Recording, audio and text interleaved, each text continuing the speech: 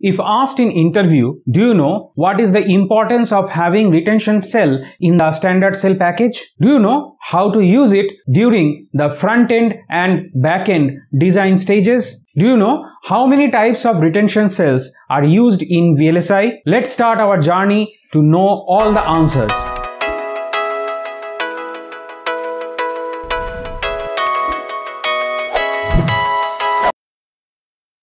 Hey guys, welcome back to the computer screen and in today's episode we are going to discuss the below points. Power management methods. Next we will introduce the retention concept. Then we will explicitly discuss about the retention cell also known as T-latch or retention flop. Then we will cover the topics PSO and SRPG. We will later go in the nomenclature abbreviation detail. Next, we will talk about the simulation and verification stage for the retention cell. Next, we will talk about the physical design stage for the retention cell. Next, we will talk about two types of retention cell that is balloon type and master slave type. Finally, we will summarize everything that we have discussed. That's the menu for today. Without any further delay, let's begin. Power management methods. Here in this slide, we will show you uh, infographics through which you will be aware of uh, different power management methods that are used in modern day chip making. Here goes our power management and the different method starts here. First, in chip design, we can use multiple threshold voltages and this threshold voltage variation comes in the standard cell nomenclature like UHVT, HVT, all those nomenclatures nowadays you will find out find inside any standard standard cell package multiple VDDs. Because of the various power domains, you will uh, get multiple VDD variations of standard cells. Power gating is a technique by which we the power also, we do the clock gating for the power management. Next, another important way of power management is dynamic voltage scaling. We have another similar scaling called the dynamic frequency scaling, which is used for power management. Next, we have retention block or cell that we use chip design. We use the isolation cell also for the power management purpose. We do use the power switch cell in the power management. For various VDD domains for exchange of signals, we use the layer cell. So it also comes under the power management. So these are the various methods that we use for power management of a chip, especially in a chip where we have a PMU that is a power management unit. We will see many of these methods present there in a modern day IC. So we are done with this particular slide. Let's move on to the next slide. Introduction to the retention concept. When a device or circuit is inactive for a long period of time, a snooze button helps save the battery. Nowadays we use mostly handheld devices, right? And inside that saving the battery is a very very important factor because once we charge a handheld device, we will expect it to run for a longer time. Memories or registers are not capable of keeping their information while the device off.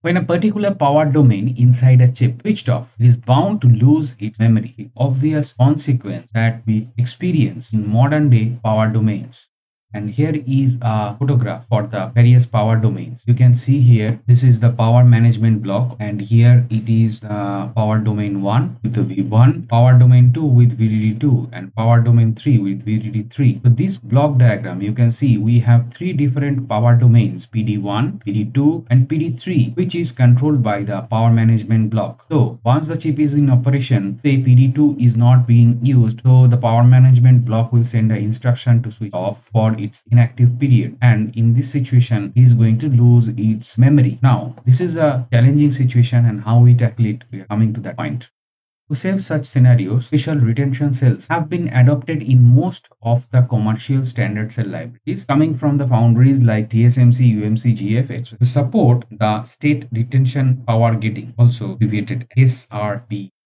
Retention cells store the last state before power off of a flop inside the power domain. So from the right hand side picture, it is clear to you if we can switch off one particular power domain that the last states will be saved in the retention cells.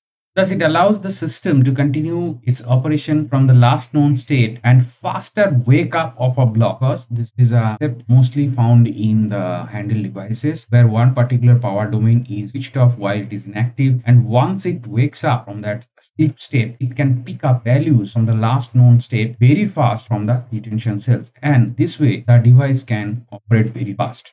The only drawback is the retention mode consumes a little more current than the powered off mode. So we have gone through the introduction here and we are done with this particular slide. So let's move on to the slide. Retention cell or T-latch or retention flops. These are the different names of the same thing. And here in this slide, we are going to talk about all of this.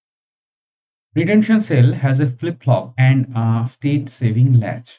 Here is the block diagram of a retention cell and see as we describe dynamically. Supply of the flip-flop is switchable and the latch is always on. The latch associated with it will retain the prior state when it is powered off. The multiplexer allows us to save and restore the logic in latch. A retention cell consists of a flip-flop and a save latch and has two control signals, save and restore. The save signal indicates when the data should be saved in the latch which is just before switching off the power of the particular power domain. Restore signal tells when the data stored in the latch should be restored which is when the domain gets back to the active state. PSO and SRPG under power gating comes the power shutoff that is PSO where unutilized blocks are switched off completely to stop any leakage current. PSO is triggered for any block whenever it goes to standby mode. It should be verified along with the working RTL ensuring that the entire chip operates flawlessly whenever any such powered off block is turned on again. State Retention Power Gating SRPG. To implement PSO, state retention cells are bare necessary to store existing state of the blocks before it shuts down. During synthesis, isolation cell, retention cell, level shifter cell and always on cells are inserted automatically based on the CPF or UPF description. So we are done with the power shutoff that is PSO and state retention power gating that is SRPG in this slide. So let's move on to the next slide. Simulation and verification stage.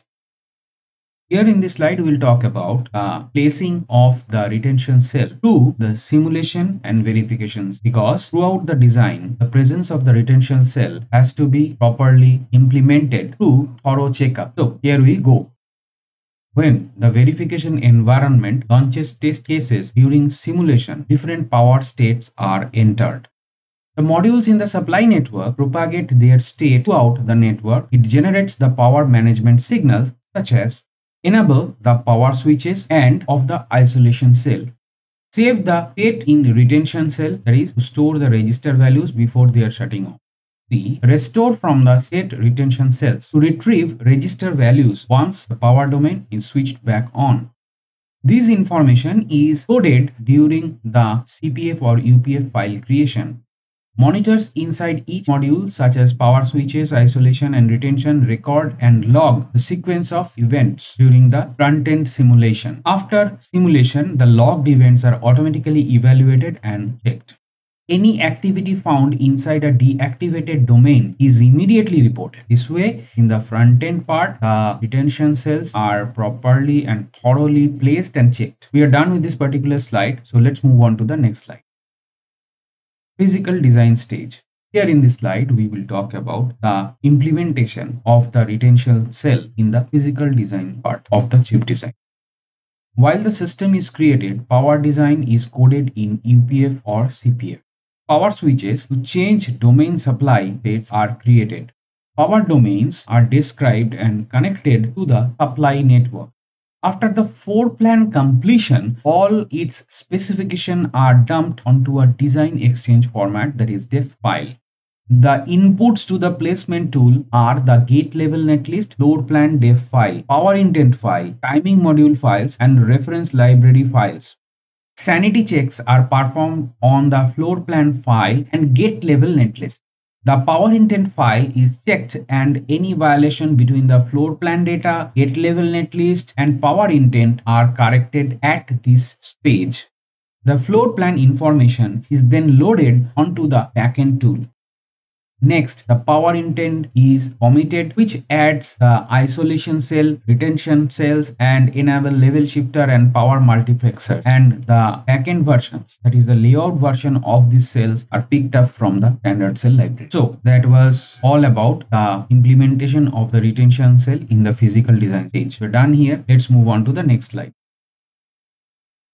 Types of retention cell latch. The retention cell can be of two types. The first one is a balloon latch and second one known as a master slave latch. In the upcoming slides, we will get familiar with these two type of retention cells. So done with this particular slide, let's move on to the next. Balloon type retention cell. In a balloon type retention register, the retained value is held in a shadow or additional latch, often called the balloon latch and usually powered by the cache retention supply. This retention supply keyword is from the CPF or the A balloon type retention register typically has additional controls to transfer data from a storage element into the balloon latch, also known as the save stage and the transfer data from the balloon latch to the storage element also called the restore page. The ports to control the save and restore pins of the balloon style retention registers needs to be available in the design, describe and implement this type of retention registers. The balloon element is not in the functional data path of the register. That was all about the balloon type retention cell and we are done with this particular slide. So let's move on Master slave type retention. Let us see what is a master slave type. A master or a slave alive retention register. The retained value is held in the master slave latch and also powered by the retention. This is a keyword from the CPF or UPF. In this case, the retention element is in the functional data path of the register. This is a very much striking difference with the previous slide, if you remember this part. A master or a slave alive type retention register typically does not have additional save or restore controls as the storage element is the same as the retention element. Additional controls on the register may park the register into a quiescent state and protect some of the internal circuitry during the power down state and thus retention state is maintained. The restore in such registers typically happen upon power up again owing to the storage element being the same as the retention element. Thus, this style of registers may not specify save and or, or restore signals but may specify a retention condition that could take the register in and out of a retention state. So, this was all about the master slave type retentions. We are done with this particular slide, so let's move on. Summary Retention cell is an integral part of the present standard cell library and used in the ASIC design today. It is a must for the chips where there are multiple power domains are existing. In the power-aware RTL design, retention cell is equipped to the UPF or CPF description. There are two major types of retention cell known as balloon type and master slave type. So we have summarized our entire discussion here. We are done with this particular slide. So let's move on to the next slide. Thank you very much for watching up to this point and don't forget to like, share and subscribe. In case you have some dislikes, put that as in words in the comment section down below and bye for today.